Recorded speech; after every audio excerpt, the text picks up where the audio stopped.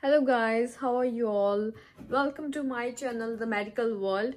Today I, I come with a new topic, the medical abbreviations you need to know in the medical school. So these abbreviations are very important that when you're going to the medical school or in the nursing school, if you memorize this term then it would be very beneficial for you. So let's learn these medical terms in detail. So now we are going to learn the common abbreviations in detail and its meaning. So the very first is ABD which means the abdomen.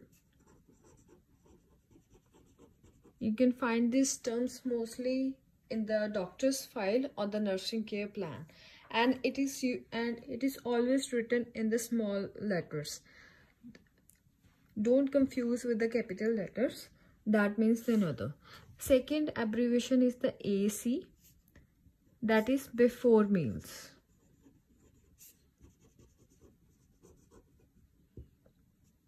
It is usually used in the nursing care plans or the nutritional uh, file where the client's nutrition is planned. So next is the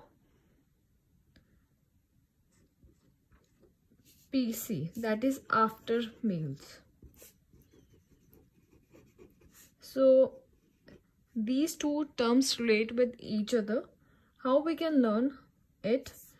A comes before P. So A will will A will be before meals and P will be after meals. By this method you can learn these terms because there might be so much medical terms so next is the ADL. It is in the capital letters which means activities of daily living.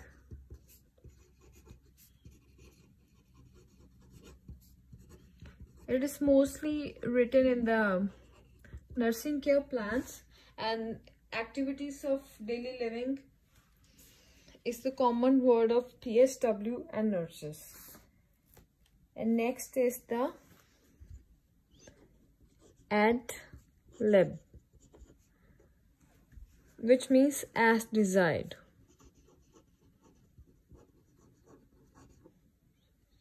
Next is AM or it can be by capital letter or small letter which means morning. We all know when there is morning time we say it's um, 12 a.m 9 a.m so am means morning. And pm same is evening. So the next is bid it's in the small letters which means twice a day it can be in the case of medicines, in the case of meals, in the fluids. It depends upon how much you have to take. Next is BM. It can be in the capital letters as well as the small letter which means bowel movements. BP we all know which is the blood pressure. The normal range of blood pressure of a human being is 120 by 80. Usually in the files in the hospitals uh, they will talk, uh, say the BP. And next is CA. It is the common abbreviations used for the cancer which can we all know the cancers can be of many types uh, varies uh, varies from the so the next is will be cath. In the medical files of the care plan the the full spellings of catheter are not written. So they will use the cath. Usually they are abbreviated as cath So CBC we all know this term is usually in the blood reports. So blood, complete blood count. It is usually done when the patient is having any type of infection. So it's very important that time. So CO when the patient complains of any pain or discomfort in the flow sheets uh, the term of C slash O is written with the complaint of the client.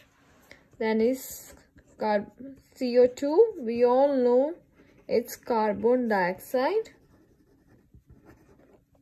Next is CPR in the capital. That is the cardio pulmonary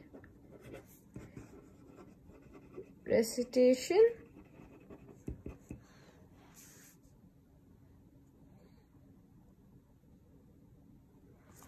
Next is DC this is the common abbreviation which is used in the case of discharge of or discontinue of any fluids or any medication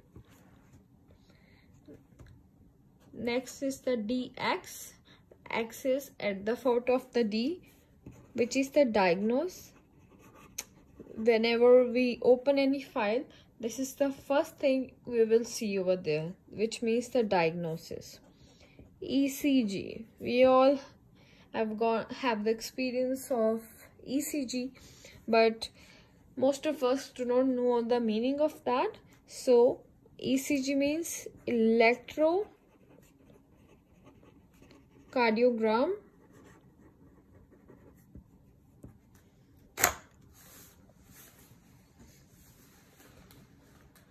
So next one is the meds medication.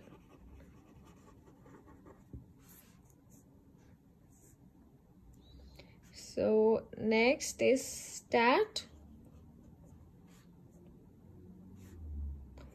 at once or immediately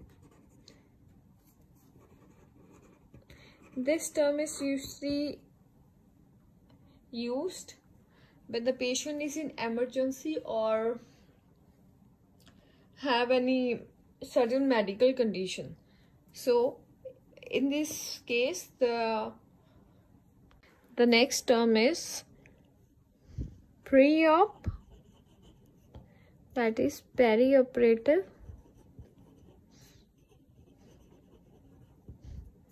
Next is prep which is used when the per, uh, the patient is prepared for any type of surgery.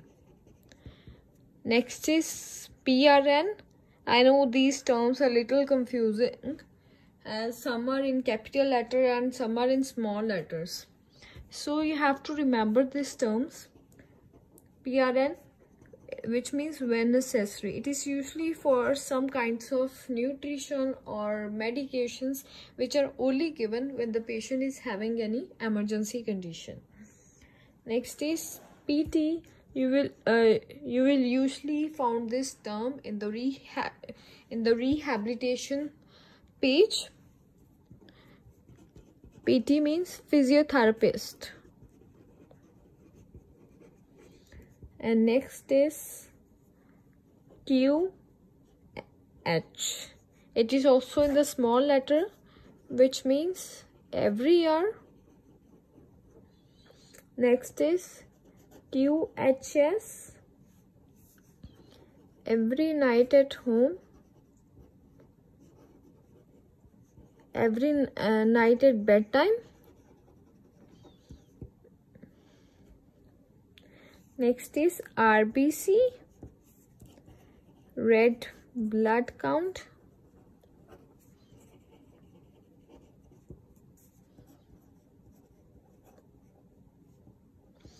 RLQ right.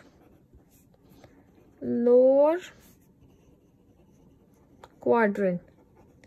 La right lower quadrant is the part of the stomach.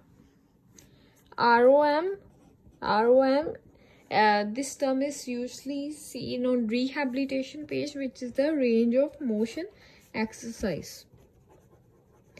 These are the exercise which are uh, which are usually done to the client for the complete range of motion of full body. So s is without and c with dash above is width. so these can be confusing sometimes. So TID is twice a day. So firstly in the firstly earlier we have learned about BID which means twice a day and TID means twice a day TSP means teaspoon and the last one which is the most important one is the TPR which are the basics of anything temperature pressure sorry I hope you enjoy this video. If you have any queries about the medical abbreviations, you can ask me in the comment section. Thank you for watching. I hope you will find it informative. Thank you.